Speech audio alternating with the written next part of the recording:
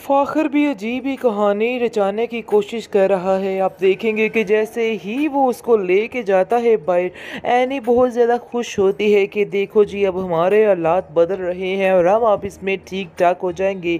लेकिन होता कुछ उल्टा ही है। आप देखेंगे कि किस तरह से फ़ाकिर जो है, वो हमज़ा को ला के सामने खड़ा कर देगा और कहेगा कि, अगर तुम इसको पसंद करती हो तो तुम इसके साथ जा सकती हो। मुझे कोई भी एतराज़ नहीं है। जिसको सुनकर रैनी को बहुत गुस्सा आता है और वो कहती है कि तुम्हें बिल्कुल भी शर्म नहीं आ रही। तुम क्या कह रहे हो? ज़रा सा भी तुमने लिहाज नहीं रखा है। तुम्हें आखिर कुछ सोचना चाहिए था। इस तरह की बातें नहीं जेब देती हैं तुम्हें। जिस पर फ़ाखिर कहता है कि हाँ ये बात तो है कि हम दोनों बहुत ही मुश्किल में पड़े हुए हैं। यानी कि हम दोनों की ज़िंदगी महाल हुई है। तो मैं चाहता हूँ कि तुम अपनी मर्ज़ी से ज़िंदगी जी लो। लेकिन एनी उसको गुस्से में समझाती है कि आज जो तो तुमने हरकत की है, आइंदा ये हरकत मत करना, क्योंकि तुम जो मेरे बारे में सोच रहे हो, ऐसा कुछ भी नहीं है।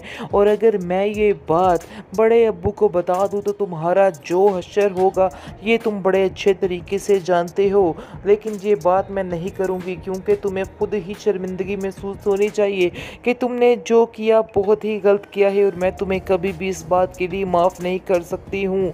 दूसरी तरफ़ आप देखेंगे कि जमशेद की बीवी जो है, वो उसकी बहन आ जाती है, यानी कि आयशा की सोतन जो है, आ जाती है जमशेद के घर और वहाँ आकर उससे माफ़ी मांगती है और जानबूझ के ड्रामेबाजी करने की कोशिश में लगी हुई है कि मेरी बहन को इधर मत तंग किया जाए। यानी कि वो अब तंग करने के लिए ये सब कुछ कर रही है, जिसको देख कर आयशा जो है बड़े ही गुस्से में आ जाती है और कहती है कि आज तो तुमने इस घर में कदम रखा है, लेकिन आइंदा से तुम इस घर में कभी कदम नहीं रख सकती हो। और ख़बरदार, तुमने ये सोचा भी कि तुम इधर आ सकती हो। तुम्हारी इस घर में कोई जगह नहीं है।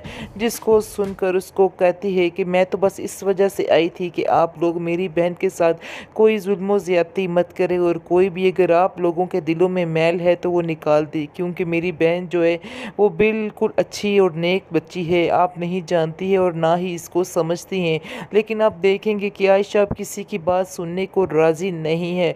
वो बड़े ही गुस्से में आ जाती है और कहती है कि तुम आखिरी दफ़ा और पहली दफ़ा यहाँ पर आई हो।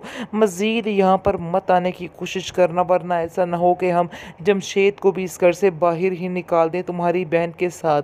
आगे उसको हमें बर्दाश्त करना बहुत मुश्किल लग रहा है और तुम्हें देख के तो मेरा खून खोलने लगता है। आइंदा से कभी भी हमारे घर का दरवाज़ा ना देखना और और इस घर का रुख ना करना, वरना मुझसे बुरा कोई भी नहीं होगा। जिसको देख के आप देखेंगे कि वो कहती है कि, प्लीज़, अब मैं जो कह रही हूँ, गौर से सुने। मेरा मकसद आने का इधर आपको हर्ट करना नहीं था, बल्कि मैं तो सिर्फ़ अपनी बहन की मोहब्बत में इधर आ गई थी। इसके अलावा मज़ीद और कोई बात नहीं थी, लेकिन आयशा उसको बाहर निकाल के दरवाज़ा बंद कर देती है गुस्से से।